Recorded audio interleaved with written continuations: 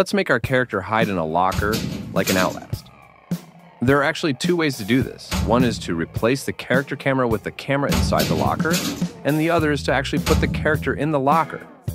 We will do the second one. We made an interaction system in the previous videos. There is a link in the description and above. We will use the same system. I roughly modeled a locker with Blender 3D and imported it into my project. I will leave the link to the model in the description. You can use it as you wish. I opened a folder with the name Hiding. Let's create a blueprint actor here. Let's call it Hide BP.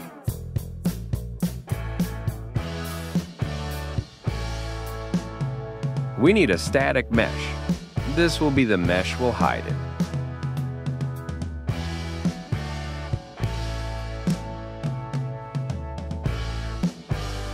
We'll also need two arrow objects. One is the player position, the other is exit position.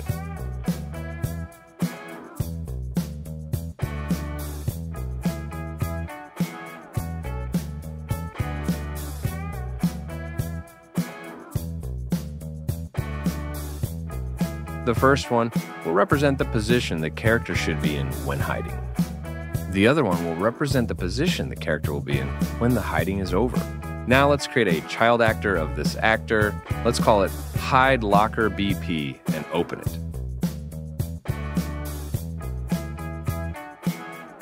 Let's call the locker as a mesh.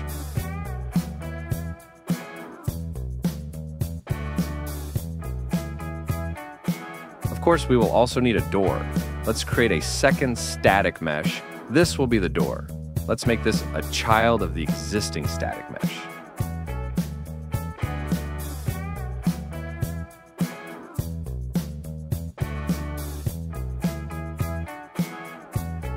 Now we need to position the door.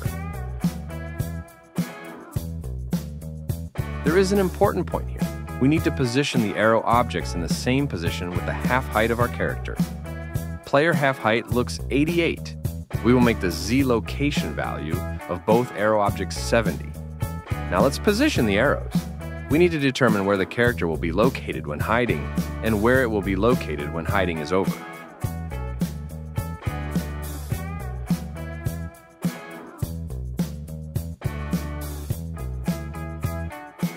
Of course, we need to interact with the locker. In order to open the door, we need to implement the Interact interface we created in our previous interaction system video. Let's go back to Hide BP and implement the Interact interface from the Class Defaults tab. Child Object will use the same interface. Let's call the Interact event in Hide BP. We need the player character reference. We can do this in Event Begin Play.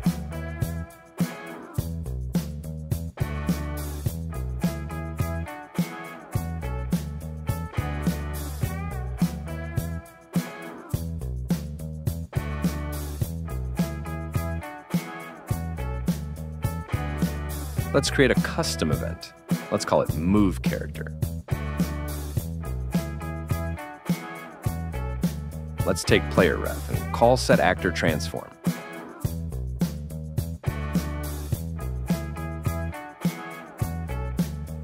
We need location and rotation, so let's split new transform. Let's call vinterp to constant from new transform location.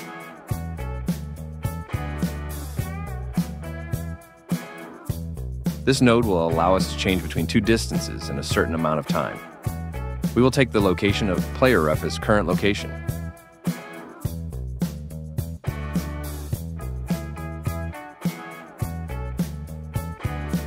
Target will be the location of the arrow object we call player position.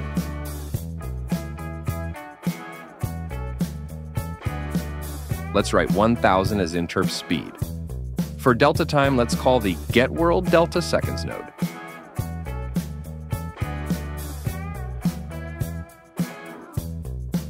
Now we need to make the collision of our player ref false. We do this only to avoid a jam. After that, let's get the set timer by event node. Let's assign move character as the event. Let's choose Get World Delta Seconds again as time. Looping must be true. Now let's test it.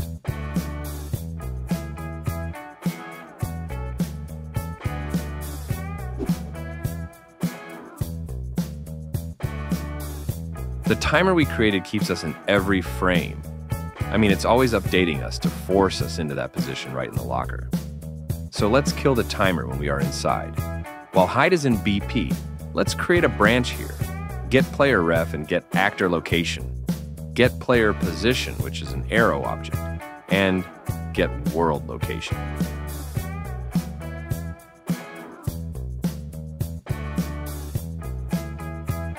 We need to make sure that both are equal. Let's connect them with the equal node. We can increase the tolerance a little bit. In order not to have problems, Let's connect the result to the branch. Call the clear and invalidate timer by handle node from the set timer by event node. We will use this node to stop the timer. We will connect this node to the true of the branch. In this way, we prevent the code from running in every frame. In this case, we also need to stop the movement of the character to avoid any bugs. We need to disable movement right after we make collision false.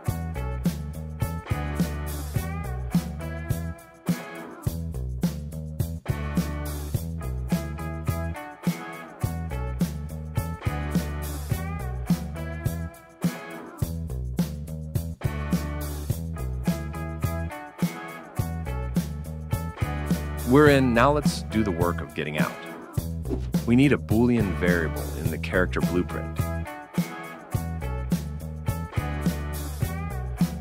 Let's call it is hiding, for example. Let's add a branch just after the event interact node in hide BP. We can reach is hiding from player ref.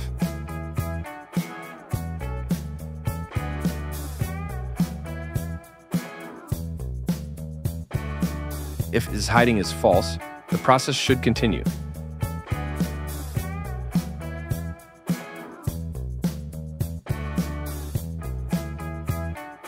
If it returns true, let's call the set timer by event node, and we will use the following event as the event again.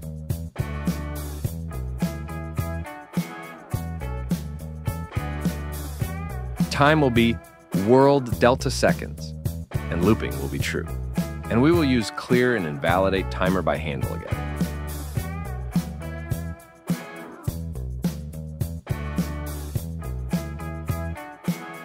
Now we will use a select node between arrow objects. We will use as hiding variable as wildcard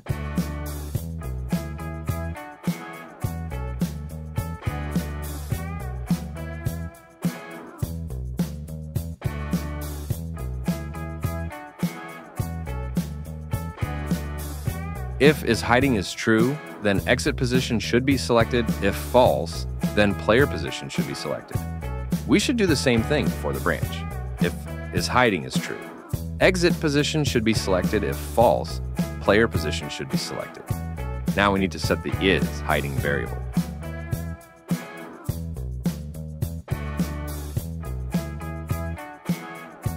Since it is false by default, we need to set it to true when we hide. Let's create a custom event to handle it cleanly. Let's name it finished hiding. Let's call is hiding. If it is true, set it to false. If not, set it to true.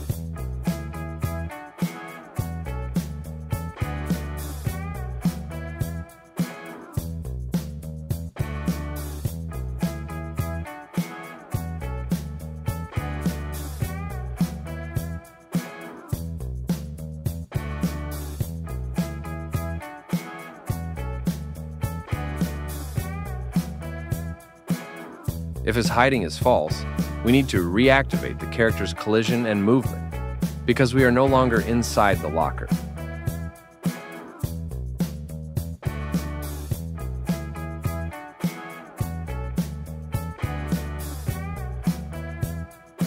Let's choose walking as set movement mode. Let's call the finished hiding event after the clear and invalidate timer by handle node at the end.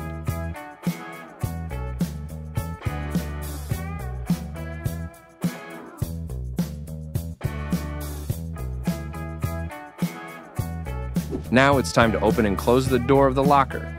We will create an event dispatcher for this. We will use this for communication. Let's create an event dispatcher in HideBP. Let's call it Hiding ED. Let's add it right after the finished hiding event.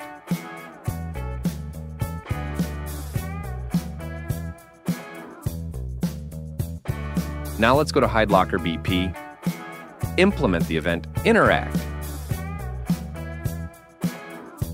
Right-click and Add. Call the parent function. Then we will use the Interact event in the parent class, but first we will do a few operations. We will open and close the door of the locker. Let's create a timeline. Let's call it Open Door. Let's connect it to play from start. Length 0.25. Let's create a float track. Let's call it alpha as usual. Let's create two keys. The first one will have time 0, value 0. In the second, time 0.25, value 1. For a smoother transition, you can select two keys, right-click and select Auto. We did the same in the Doors tutorial. Let's go back to the event graph. Let's take the door mesh. Set relative rotation let's connect it to update. We will only use the z-axis, so let's split the new rotation. Let's connect the z-axis to a lerp. Alpha will be alpha. A will be the closed state of the door. Let's make the B value 100 degrees. Connect the parent interact node to finished.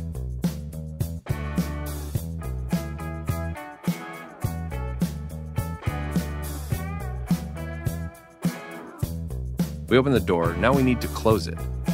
Let's create a custom event, close door. Copy and paste the timeline and the nodes behind it here. We will use the same one. Let's call it close locker door.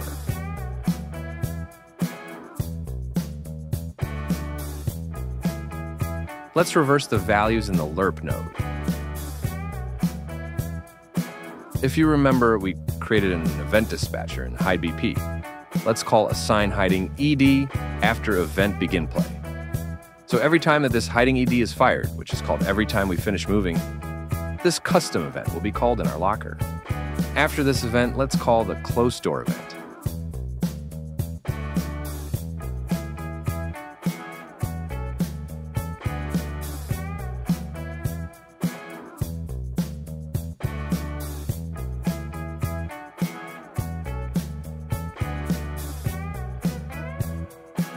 There's a bug if we keep pressing the interact key. Let's prevent this. So we need to disable our interactability while these codes are running. For this, we define a Boolean variable in hide BP. Let's call it can interact. Default is true. We should check after event interact in locker BP.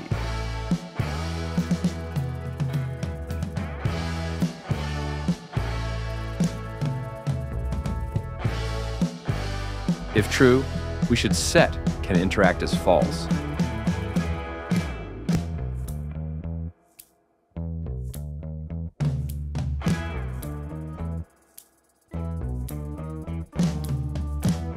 In the closed door event, we should set can interact as true to finished. Now let's add a sound and finish our video.